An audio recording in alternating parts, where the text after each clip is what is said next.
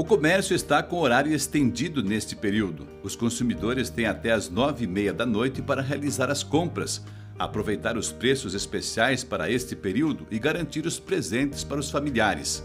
Na Praça Presidente Vargas, local de concentração popular neste período, a decoração natalina chama a atenção, como estas imagens desde o chafariz em direção à igreja. Da roda gigante, a decoração especial da lateral da igreja com este túnel. E todos querendo registrar, eternizar o momento da família através da fotografia. Por aqui há a presença da família toda, com crianças de colo, enfim, é um momento especial para o calendário cristão, de nascimento de Cristo que mexe com os sentimentos, que suscita a harmonia e a solidariedade entre os povos.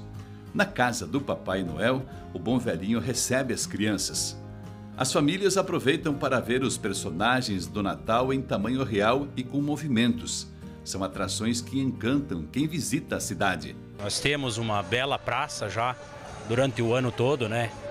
Toda a parte de arborização e de jardinagem que sempre é feita. E agora com a decoração de Natal fica muito mais bonita ainda.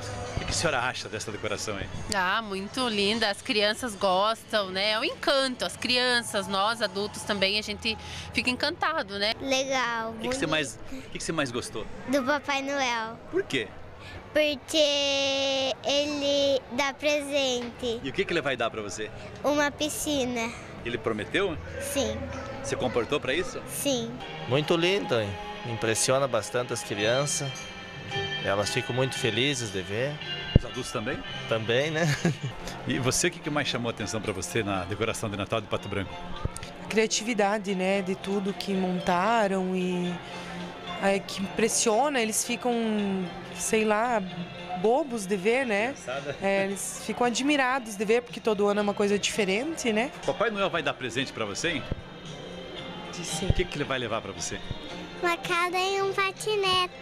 Você se comportou bem? Então ele vai levar, né? Papai Noel vai levar presente para você? Acho que vai. É? O que, que ele vai levar? Hum, qualquer coisa já tá bom. A beleza dos enfeites de Natal das noites patobranquenses tem atraído milhares de pessoas. Segundo levantamentos feitos pela organização, até agora já passaram pela casa do Papai Noel 75 mil pessoas e isso que choveu durante muitos dias. A expectativa é que outro tanto visite o Natal de Pato Branco até a decoração ser retirada. Ontem à noite, o palco foi reservado para o movimento carismático. Faça o Natal com Jesus. Convide Jesus. Não faça o Natal sem Ele.